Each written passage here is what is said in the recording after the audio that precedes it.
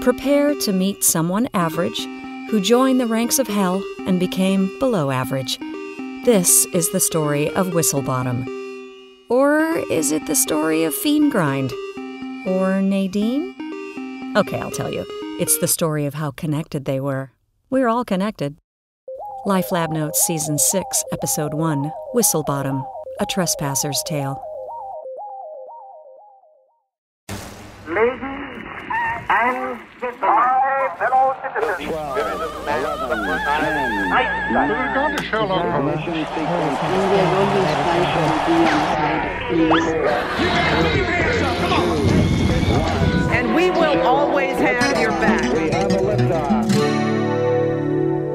Welcome to Life Lab Notes, where we review and compare our notes about life, what we have in common, what makes humans tick, and how we can keep from blowing up the lab.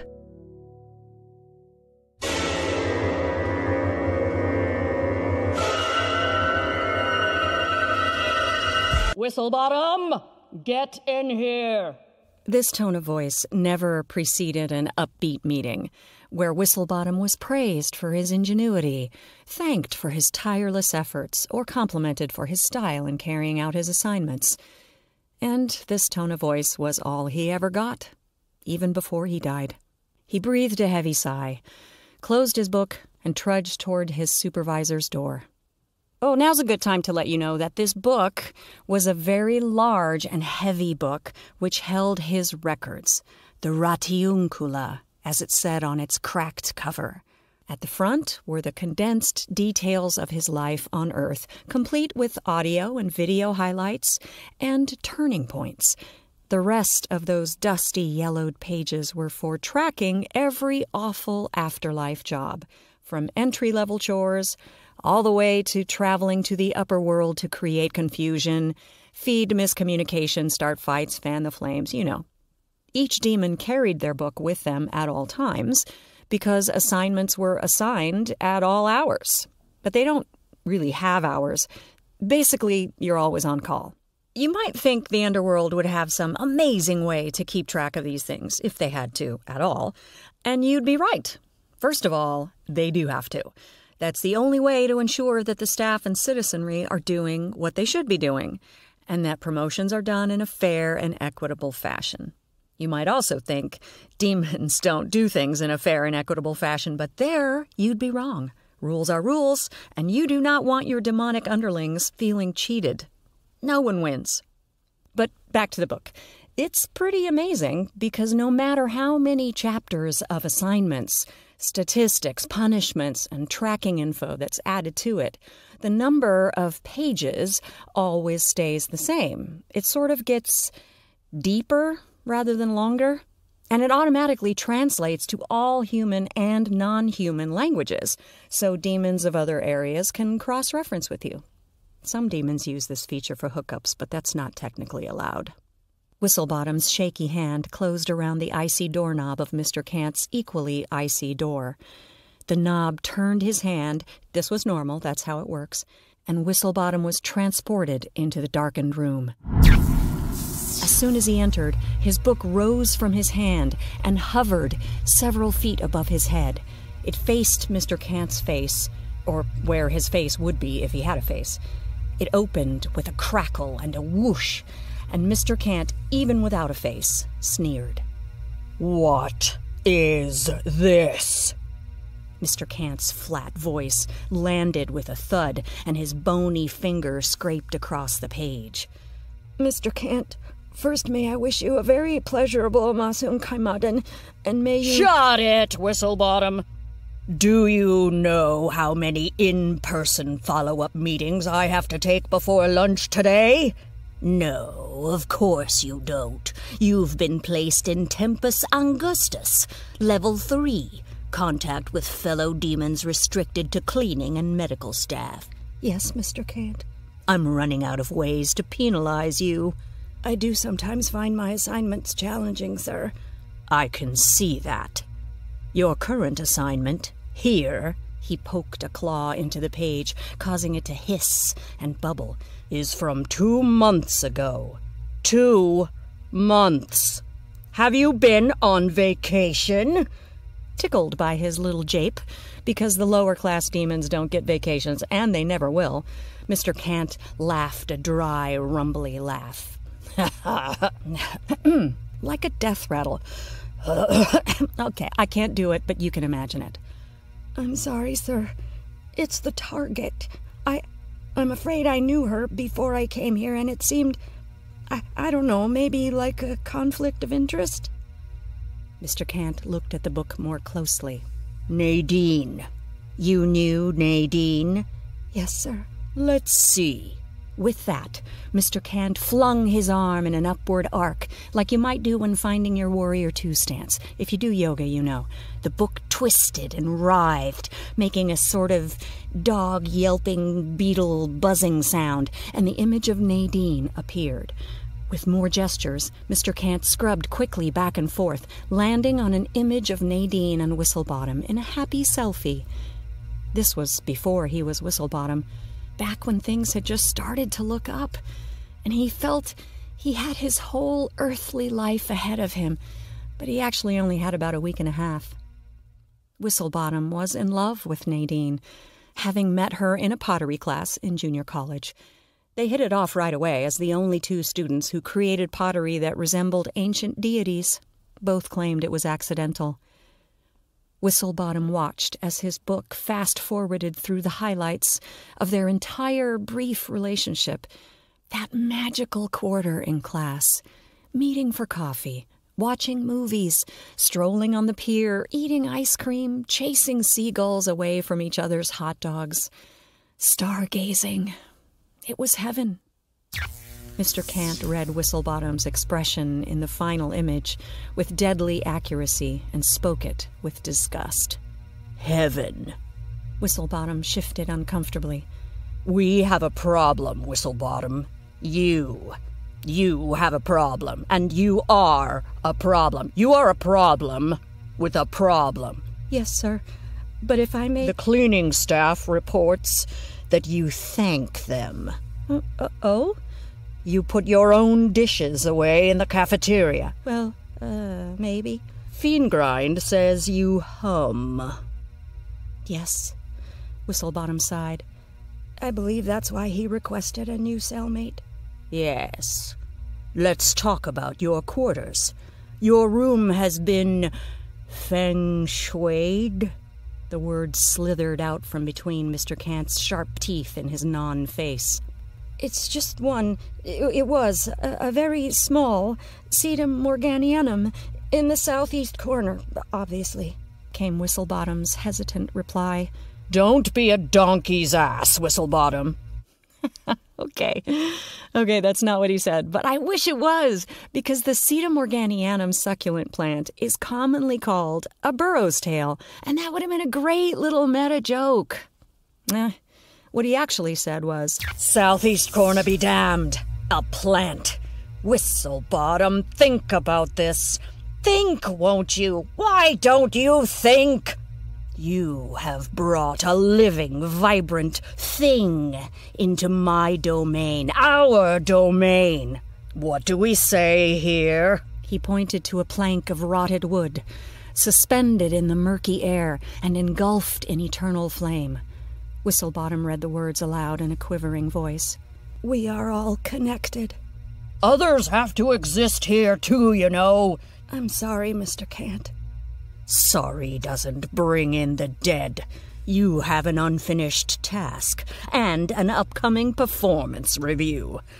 They will be looking for timeliness, efficiency, actually getting things done. Your performance reflects on my leadership.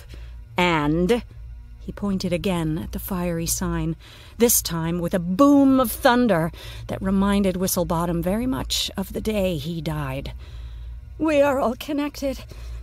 We're all connected, he murmured. So you had better say more than sorry, Whistlebottom. You'd better come back here and say you've finished your to-do list, and that you've finished Nadine.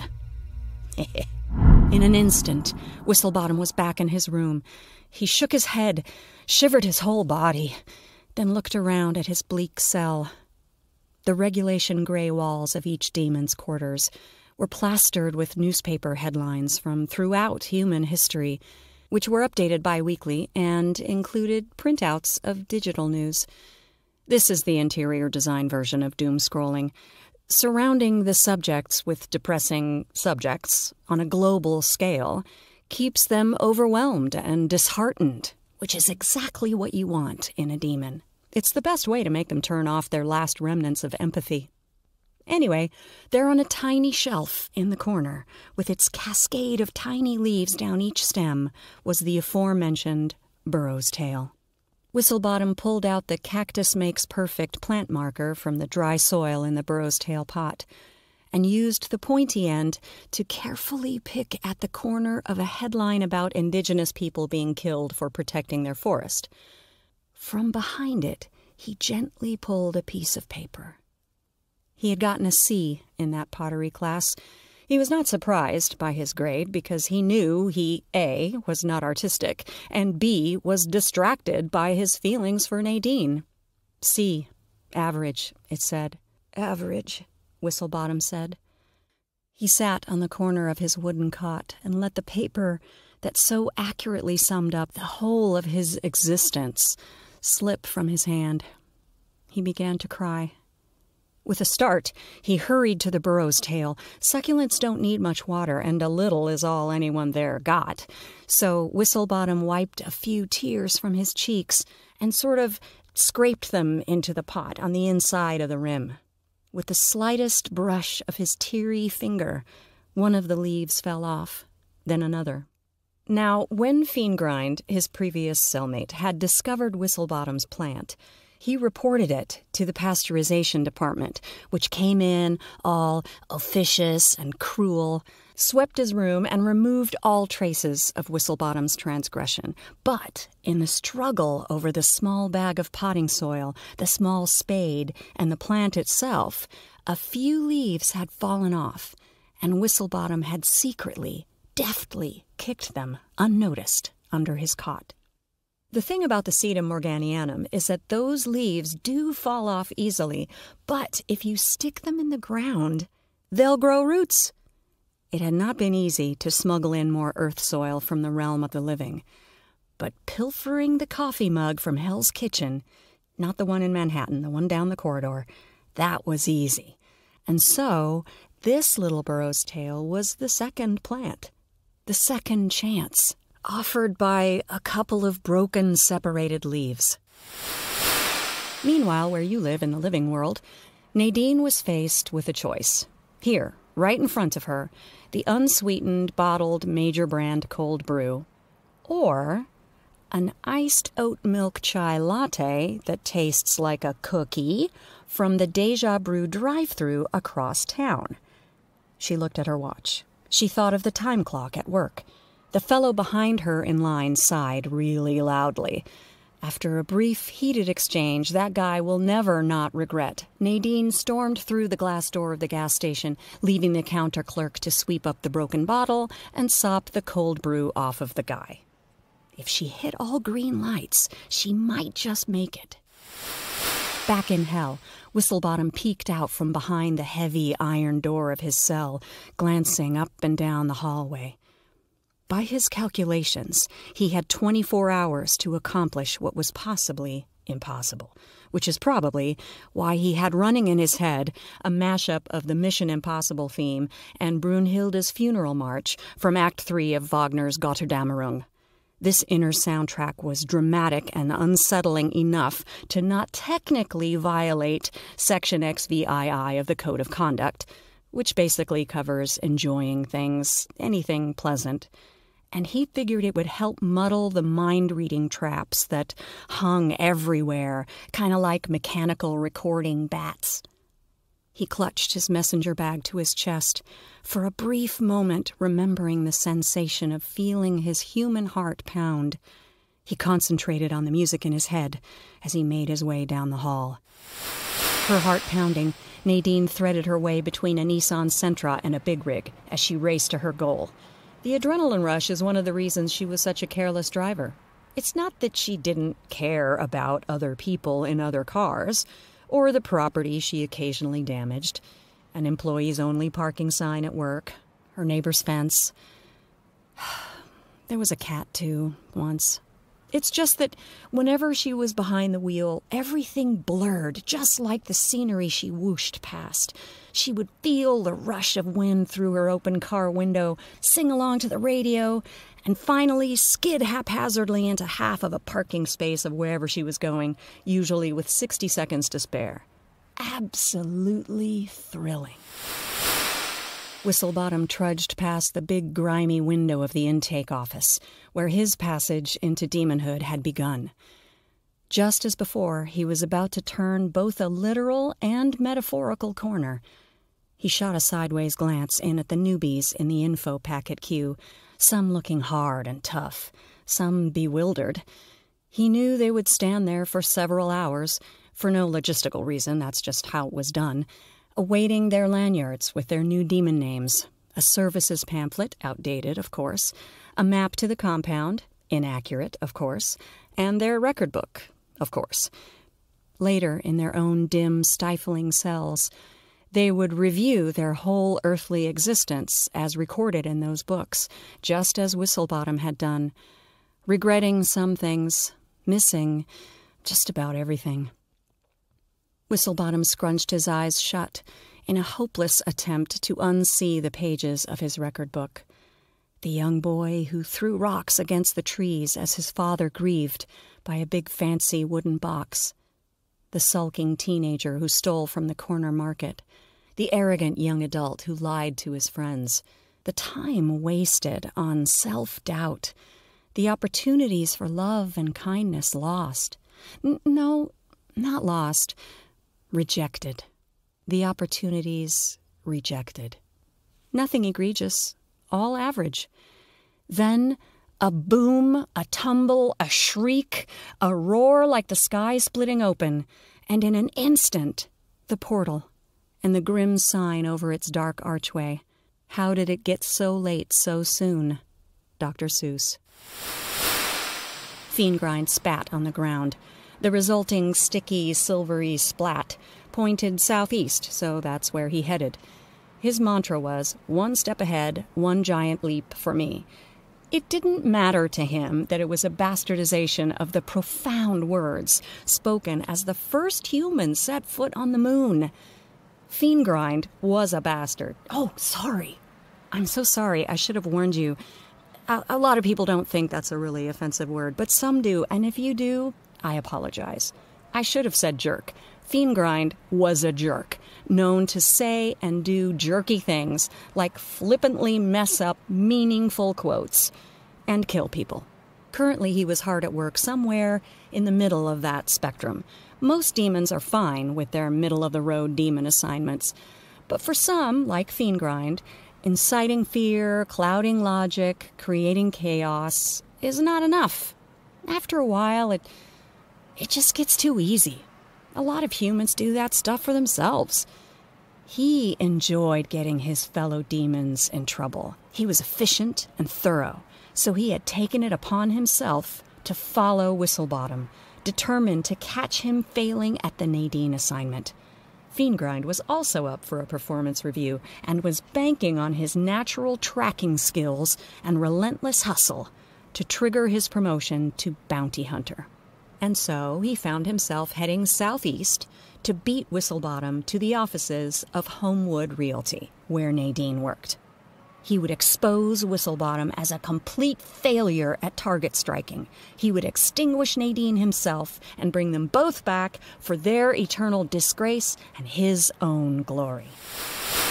Whistlebottom was, at that very moment, gathering supplies virtual gravitons, photons, gluons, and W and Z bosons, you know, to activate the four fundamental interactions gravitational, electromagnetic, and the strong and weak nuclear forces, blah, blah, blah. Without these, he would not be able to interact with the realm of the living, at least not on Earth. But you sure don't want to hear about gravitational time dilation. Suffice it to say, he had everything he needed for re entry and to accomplish his goal. And, of course, he would check out a temporary trespasser's body to inhabit when he came through the portal. Oh, and almost an afterthought, a small vial of mercury vapor to make himself visible to the human eye. He placed these carefully in his messenger bag, closed it, and scanned his badge to exit the supply ward. Nadine was, at that very moment, braking hard to avoid a slow moving elderly shopper in the parking lot of the coffee drive through. Why are you so slow? Oh, okay, you're old. Sorry. Why are you so old? She honked, regretted it, then cursed under her breath. Those were words I know you'll find offensive, so I won't repeat them here. With a sudden burst of speed, Nadine executed a tight three point turn, causing her iced oat milk chai latte to do an aerial, landing on the floor beneath her feet and popping its lid off. She grabbed the small ceramic figure that now swung wildly from her rearview mirror, and as she sped away from the nice little old lady she didn't hit with her car, its thin faux suede cord broke. She always divided her attention amongst all manner of tasks while driving. Nadine routinely put on mascara while changing lanes. She would eat salad, steering with her knees. She was, in fact, engaged in returning a very important text at the time of the accident. But for this, she pulled into a parking space and looked at the thing in her hand. Two soulful eyes, a long snout with wide nostrils, and muscular shoulders it had started out as a dog. Whistlebottom liked greyhounds. They have universal blood type for dogs, which he thought was cool. But as previously mentioned, Whistlebottom was not artistic, and the greyhound's ears were too long, its shoulders too broad, and it started to look a lot like a bust of a minotaur. Half man, half bull, all monster. She had teased him about it. He threw it away. But she rescued it from the trash saying she needed a good luck charm for her car, even if it was. Mm, homely. If you can meet someone delightfully weird and cool who delights in your particular weirdness against all odds, and you can lose that person in an instant with no tagbacks and no erases, what is the point? She asked herself. She needed way more than a good luck charm for her car. She needed one for her life.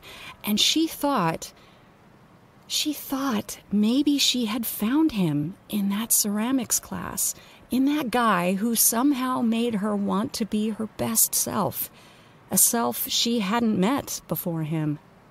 Her eyes began to sting and water, and she heard herself gasp a single sudden sob type gasp she clutched the little talisman tightly, kissed him on the snout, then rolled down her car window. Whistlebottom was struggling to reorient himself to the light, having just re entered the realm of the living. He popped a couple of virtual gravitons to steady the half earthly, half unearthly, all wobbly state of his trespasser's body. He would need to clear his mind, calm his nerves, and overall just really be on his game to find Nadine as quickly as possible. He didn't even know if his plan would work. Would she recognize his current weird kind of physical state? Could he explain his plan in a way that would make logical sense to someone in the realm of the living? Would she go with it? Leave the life she knew for an average human who became a below average demon? At Homewood Realty, Feengrind lurked behind a giant oleander bush, scanning the parking lot and pretending to smoke. He required no acclimation time, no need to recalibrate his senses to the physical world, because he always checked out the same trespasser's body whenever he crossed back to the realm of the living, and he went over all the time. He could get in it, get over, and go. But the one thing he wished his hybrid state body could do was smoke. He flicked his oleander leaf cigarette onto the nearby asphalt and looked up just as Nadine's Toyota Corolla turned into the lot, at about 50 miles per hour. It screeched to a stop in most of her parking space, and she climbed out, juggling her tote bag, her keys, and the remainder of her iced oat milk latte, with her pink hoodie dangling from between her tote bag and her elbow. Feengrind took a swig of mercury vapor and stepped forward. Yipes. Okay, you scared me. Sorry, homeless guy. I don't have any change. You're about to have some change. That is literally what he sounded like. His trespasser's body had the voice system of a cute cartoon character. And that line! He was going for the clever, punny kind of thing villains say in movies when they're about to kill someone. He always said something that he thought really fit in with his target's last words. But Feengrind had only ever said one statement right before terminating his target, so this was the first time he'd ever encountered a reaction. what? Finis itinerus terminus. Nadine kept laughing. Terminus transitus. Be quiet. Oh, cool. I get it. I'm on camera. Uh, look, I'm really late. Here's where he could have said, Actually, you're just in time to meet your fate, or you're about to be the late Nadine Johnson. But instead, he just said, No, Nadine Johnson. I'm here to take your soul. For a nanosecond, Nadine thought, maybe he's right, and maybe that's okay. Then, from across the parking lot, Stop! Whistlebottom glided toward them, entirely visible to Feengrind, entirely invisible to Nadine. Nadine was clearly pissed. All right, what the hell is going on? Nadine, it's me, Brian, from pottery class, from. from your life. Nadine stepped back, releasing everything from her arms. In slow motion, it seemed to her, her hoodie slipped to the ground, her tote bag threw up its contents, and her iced oat milk chai latte spilled for the second time. You can't see him because he is in your mind, your imagination. Feengrind shrilled. No, I- am really here. I just haven't taken the mercury vapor. It's somewhere in my messenger bag. I wasn't expecting to see you so soon. Plus, I stopped on the way to get some dirt for my cactus. Well, it's technically a succulent. I need to leave now because you're crazy. N- no, no, me. I'm. I'm. I've lost it. With the quick thinking of someone who's had to hide and smuggle plants and gardening implements into hell, Whistlebottom swooped up Nadine's hoodie, draping it over his head. I think he was thinking, oh, she'll be able to see where I am, but of course, what she could see was her hoodie suspended in midair where Whistlebottom's voice was coming from. It just added another layer of dismay to her already overflowing basket of churning emotions. Holy, unholy. that was maybe Feengrind's finest moment, dialogue wise. What's happening? What's happening? What's happening? Nadine, it really is me, I swear. But you're dead. Y- yes, I am dead. So am I. Yes, so is he. I'm guessing, Feengrind, that you're here to kidnap her soul. More than that, Whistlebottom. I'll be taking you in too, for miserably failing this assignment, among other things. The sun dipped behind a cloud that hadn't been there before, and the air grew hot and still. Feengrind spread his arms out and began a low, ominous hum. Nadine stood frozen, nervously side eyeing her pink hoodie, which floated next to her. Feengrind, don't. Just don't do this. If there's anything human left in you, please. Ha! It's the human in me that wants this. I'm going to be celebrated. I'm going to be promoted. I may get one of the fancy new cells with the unobstructed view of the river Styx. But that's your problem, Whistlebottom. You don't see what's all around you. Humans making a mess of everything. They're not all like that, Feengrind. Like your Nadine here? She's got a rap sheet as long as my arm. You're not allowed to see the records of someone who's not your target? You're not allowed to change the records. Whistlebottom anxiously scanned the parking lot, fully expecting to see the demon police there ready to pounce. I kept asking myself, why? Except for the fact that he's a moron, can't Whistlebottom bring in this little lady? He sneered, spat, and went on. So I did a little digging and discovered your exploits. Your ex. ex. your. ah, damn it. Your privilege escalation was in the system that allowed you access to information resources that you then altered. Feengrind continued his slow, menacing circle around his captives as the sky further darkened, casting the world in a gray murk. The air crackled. You took the blame for the accident. Your two stupid souls were so closely intertwined that in the physical chaos of the car crash, Nadine's reckless driving was accredited to you. And when you were processed into demonhood, you lied to continue that falsehood. And then you hacked into the mainframe to make it official. Okay, okay, yes, yes, I did that.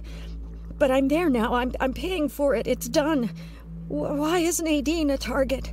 Feengrind's lip twitched up into a sickening half smile. Like I said, she's got a rap sheet as long as my arm. I know, because I wrote it all. Do you know what a Hitchcock zoom is? You've seen it. It's where they pull the camera back from the subject while zooming in the lens. The foreground gets bigger while the background kind of goes away. Very unsettling. Picture Whistlebottom. Well, he was still invisible, so picture that floating pink hoodie and let everything else the crackling air, the darkening sky, Nadine standing there, and that sneering bastard, sorry, jerk, Feengrind. Let it all zoom back and away with the rasp of violins ascending in a shuddering glissando. That's right. I made it all up. You don't remember me, do you? No, I can see that. Maybe this will help. Potter's Wheel number five. With a gasp, Whistlebottom pictured the ceramics classroom, the shelves of tools and supplies, unfinished projects, the bags of clay, and the stations where the students would work, throwing clay and doing their best to create earthenware art. Oh, the uprising! Yes, or as I call it, the day you ruined everything. Whistlebottom glanced at Nadine, who shot a wide eyed look back. Mr. Richter! They both exclaimed in unison, but there's no way I can do that myself. But they definitely said it at the same time. You couldn't have known that I was to be observed for my evaluation because you were late. You and Nadine were always late, as per usual. Whistlebottom, fully visible to his fellow demon, carefully moved his hand into his messenger bag, trying not to move the flap more than he absolutely had to. There was a rumble of thunder, and Feengrind went on. You couldn't do the simplest task even back then, Brian. To save time, you didn't properly wedge your clay on the wheel. I warned you about the air pockets in the clay. I urged you to start over as the peer evaluator looked on, judging me. I ordered you to add more water to your clay. You just stood there, frozen, like a frozen, frightened rabbit. And I told you, you and your clay would always be off center. I'm sorry, Mr. Richter. I, I mean, Feengrind, I'm, I'm, I'm sorry. Sorry doesn't bring in the dead. Whistlebottom shut his eyes, and just like back then, he began to cry. But this time, using this temporary body, the trespasser's body he had checked out of the supplies and equipment department to come back to the realm of the living with the express purpose of saving Nadine. And here he was, crying painful tears out of tear ducts that had never been used before. Demons don't cry when they come back, they're on a mission of mayhem and destruction. Nadine had had enough, and just like back then, she spoke up. Mr. Richter, you. you were the worst teacher of all time. Keep quiet, girl. There are no other students here now to rally round you. There will be no chanting, Mr. Richter is a dictator. No marching around the arts department. No throwing of paint on me and my evaluator. And the only destruction of property today will be done by me. He brandished a fettling knife, the tool of choice for cutting clay and trimming rough edges. Not too sharp, but not exactly dull either, and yes, I am talking about both the knife and Feengrind. At the same moment, or maybe half a second after, in two swift moves, Whistlebottom whisked out of his messenger bag the vial of gauge boson particles, and Nadine snatched from the ground at her feet her car keys. Whistlebottom looked at her. What's that gonna do? I don't know yet, but I want to be ready when I find out. With a crack of thunder and a blinding bolt of lightning, Feengrind lifted his arms and rose in the air, chanting ominous sounding Latin and spitting. Of course, Whistlebottom knew what was happening. He had uttered those very words himself when collecting targets. But when he did it, it was without the drama and the spitting. Sometimes he just said it in English. But this was it. It was go time. He zipped up the pink hoodie and swooshed up and around Feengrind, leaving a contrail of chalky white. Whistlebottom hurled an entire vial of elementary particles at Feengrind. It cracked open on his belt buckle, releasing its contents, and Feengrind winced. The vial hit the pavement at Nadine's feet, creating a dark glow in the cement. Everything seemed to shudder and groan as unexplainable forces of both this world and the next fought for dominance. Down below, Nadine struggled to hold her ground, her hair whipping around her face in the powerful wind. She looked up at the battle of Visible Demon versus Pink Hoodie and shouted something unintelligible in the din. The two demons turned to her at once, but it was Feengrind who made the first move. With a sneer, he surged toward her. The sheer force of his approach sent her flying backwards into the oleander bush. With a roar, Whistlebottom flew at Feengrind. They tumbled in midair, sending out sparks as they smashed the employees only parking sign previously dinged by Nadine and a couple of nearby cars. They thudded up against the vending machine under the stairs, and for a moment, Whistlebottom had the upper hand. His invisible hand was closed around Feengrind's throat. Feengrind spat into the face of his opponent, and the mercury in his system was just enough to cause Whistlebottom's face to become visible, the effect spreading slowly over his whole trespasser's body. Thanks. That saves me some mercury vapor. Now let us go, Feengrind. And return to the underworld a big loser like you? Never. Besides, you know the effect will wear off, and you only brought one dose of mercury with you. You can't go back and get more. What are you gonna do? Save it for Christmas? Do you think your girlfriend's gonna want to hang out with you when you're invisible again? Ha ha! You're gonna fade away, trapped in a weak, invisible trespasser's body, left to roam the land of the living like some kind of ghost or something.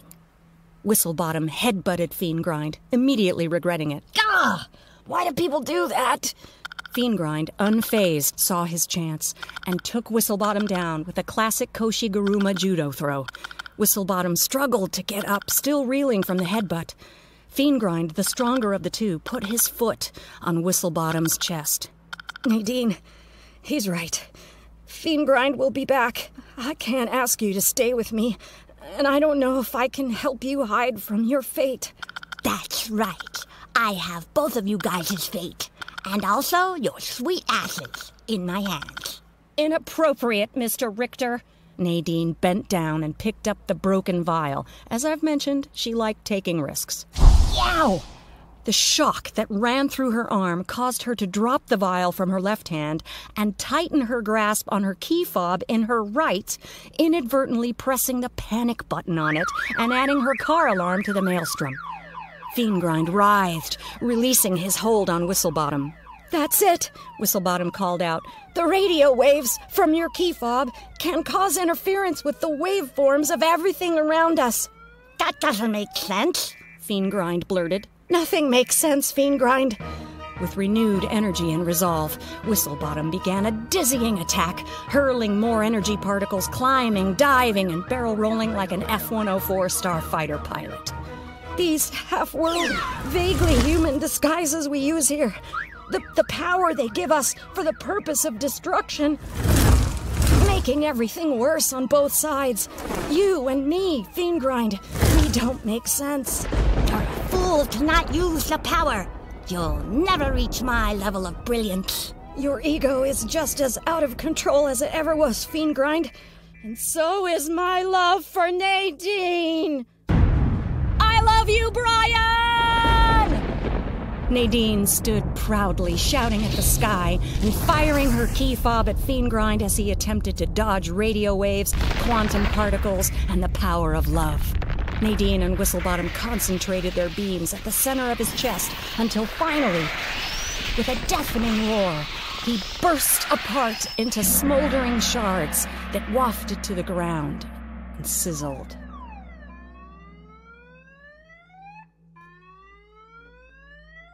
Nadine, is that your car alarm? A voice called out from a second floor office door.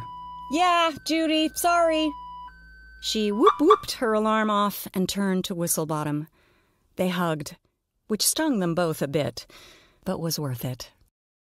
Six months later, bing, the door chimed as they entered the gas station convenience store. The woman looked around, signaled the all clear to her hoodied companion, then went straight to the counter. Twenty on number five. The cashier took her money and gestured to the mysterious figure, now reaching into a refrigerated case. He with you? She shot a glance over her shoulder. Yeah, that's my dude. The clerk leaned over the counter and lowered his voice. You really okay? I can call the cops if you want. You heard the lady. I'm her dude. The man in the hoodie set a bottle of unsweetened major brand cold brew and a Powerade on the counter and pulled his hood back. The clerk's eyes widened. The hell? Nadine cocked an eyebrow. Now that's just insensitive. You know how in movies the bad guys fight and trash the place and then make an exciting getaway? Sometimes the good guys have to. Whistlebottom and Nadine stormed through the glass doors of the gas station, followed by the clerk, who hastily conjured a lightning bolt and launched it at them. Whistlebottom ducked and swerved, dropping the bottle of cold brew. Oh, sorry. I should have kept my hood on. You never learn, WB. I'll drive.